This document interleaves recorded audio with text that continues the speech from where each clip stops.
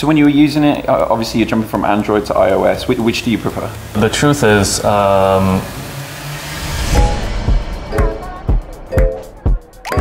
Carl mentioned in a brainstorm the other day that he'd be up for reviewing tech products like a tech tuber. I would then be the only one who's actually made a product before, so that would be an interesting and uh, different perspective. Maybe people like that. So I've just bought an iPhone 14. Should we go see what he's saying? Let's go. Hello, bro. I got you a gift. Do we pay for this? Stick that on for me, please, G. Carl, previously you said you wanted to review products online. You still down to do that? I mean, uh, I mentioned it in passing, but why not?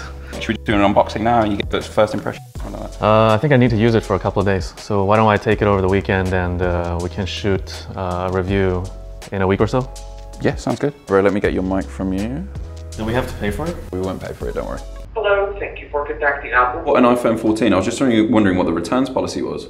Under 40 days, you can either replace it for We're from a competitor company. We're actually from Samsung, and uh, we just wanted to shoot some content with the iPhone and then give it back. Would that be totally fine?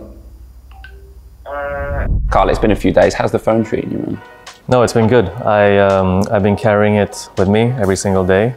Uh, not as my primary, but as a secondary. And you know, I've been an Apple fan for the longest time. How do you want to kick it off? What would you like to talk about first? I guess first off is always the design. You know, that's the thing you see first. I've had a lot of friends tell me that this is the first generation iPhone that they just didn't buy. I guess the main difference is the dynamic notch. Really smart design, but I think it might have been a bit overhyped because after using it for some time, it's cool, but it's it's not changing the way you interact with it with a phone. A few people have said phone one is looking like the iPhone. How do you feel about that? I get really annoyed reading those comments online. I mean, I know where they're coming from. You know, if you're talking about the buttons, I think I'll be okay with that because they do look quite similar. And I remember um, asking our industrial design team why it has to be this similar. And uh, I, I, I lost that argument, but you know, now I think I, I can win the next argument because a lot of users are commenting on that. The speaker grill is not that similar. The front of a phone is just screen these days, so there's not much you can do on the front. I think the back looks really different. And if you're talking about the kind of rectangular boxy shape, it's the most space efficient way to build a phone. So no, no circular phones coming up. No circular phones. How much are you paying for this one? You got thirteen hundred pounds, eleven hundred pounds, something like that. You could, I think you could pick this up for three fifty at Black Friday, or was it three nine nine? It starts at 399. Three nine nine. I think it was fifty quid off somewhere. Anyway, but you know, you're but realistically, you know, you're talking about two completely different price sets. Do you know what I mean? It's, Yeah. it's difficult to compare, I suppose. At this price point of the phone one, at about 400 pounds, you'll be hard pressed to find a better kind of full package. But if you want the best, I think, especially in terms of camera, uh, 14 Pro is my recommendation. So speaking about price, you know, what, what do you think it's taken to to build something like this versus the cost it is to build something that Apple's building? There was a really good bill of materials analysis on the iPhone 14 Pro Max, and which pegged the, the BOM at about 501 USD. What's the bomb? Sorry. Bill of materials, how much each material costs, and you add them all together. Right. Okay, got you. So this one is a bit smaller than the Pro Max. I'm guessing this one costs about 465 to build. It retails at starting 999. So their margin is uh, over 50%. The phone one costs about 360 to build, so a bit cheaper than the Apple. Apple has a scale advantage because of how big they are. Uh, each component costs a little bit less. Okay, so the, the build of materials is about 360. We sell it at about 400, 450 USD. So our profit margin is, uh, if you remove all the kind of shipping, logistics, and uh, giving some of that margin to channel partners like carriers or Amazon or whatnot, our margin is uh, zero. And it's okay. It's a we're a startup company. It's kind of our entry into the market. It's our we see this more like uh buying a ticket to a show. We bought a ticket to this industry, and after we launched this product, you know, now we've shipped half a million of these, and um, now the suppliers are budging. We're getting better and better pricing. So for our future products, our margins will also start uh, growing. So that's that's analysis of the of the cost. So 50% margin, 0% margin. When we're talking about price range, this is flagship. Yeah. Um, this is not flagship. Is there any plans in the future for a flagship? Uh, that's how can I answer this question? uh, it's, a, it's a maybe, maybe.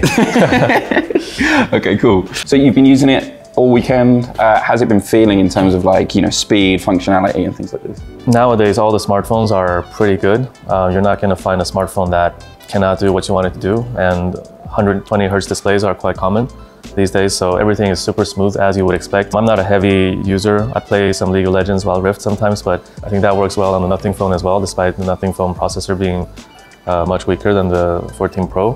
Yeah, no surprises. Works well. Carl, camera. Let's talk camera, man. Yeah. Cameras. I, uh, I, t- I took the cameras for a spin. Took some photos in normal light condition, but also like really challenging dark dark condition. At the end of the day, beyond all the specs and the features, what's really important for a smartphone user is to be able to rely on the camera. I don't need to know the megapixel, the aperture, the all that stuff. I just need to know that whenever I want to take a photo, I'm confident that it's going to be a good photo. So I didn't do any reshoots. I just took some photos. My conclusion is that the iPhone 14 Pro has one of the best camera systems out of any smartphone on the market today.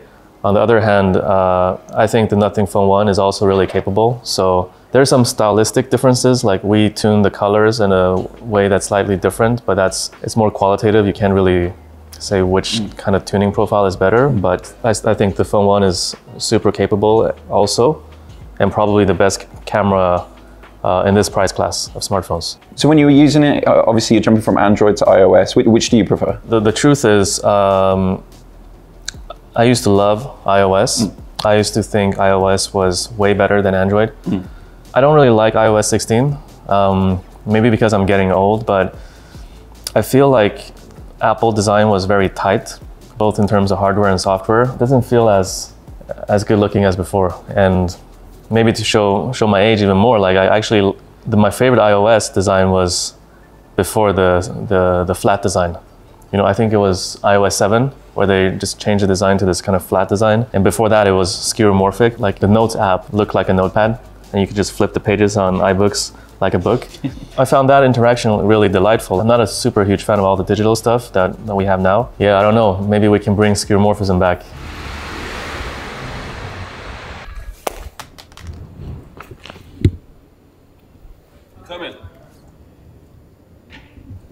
So Carl, phone one, iPhone 14 Pro. Uh, what are you picking, man?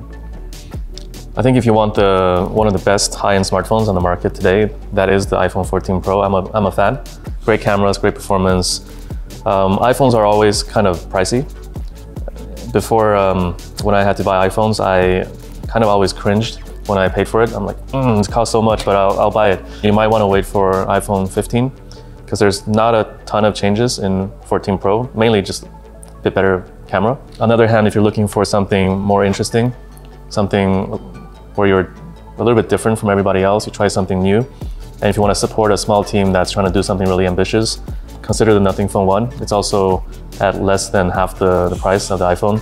So that makes it a little bit easier. Carl, thanks for giving us such an honest review, man. I think you gave us. Uh, I didn't expect you to actually be quite that real, you know. Gotta keep it real. Thank you for taking the time, man. Uh, you know, spending the weekend with a competitor product must have been a bit weird. So yeah, uh, I'll let you get back to work. But thanks for taking the time. All right. Thank you and see you next time. Yo, yo, yo, yo, yo, yo, yo. What if I get tackled to the ground? Hello, bro. I'm trying to return my iPhone. Yes. Okay, amazing. There's nothing wrong with it. It's just, you know what it is? I, I compared it to the one from last year. It's just too similar. It's fair enough. I feel like if you already have the 13 Pro, might as well just continue. You're not going to upgrade. We have other two, three players that can be upgraded. Thank you so much, bro. Cheers.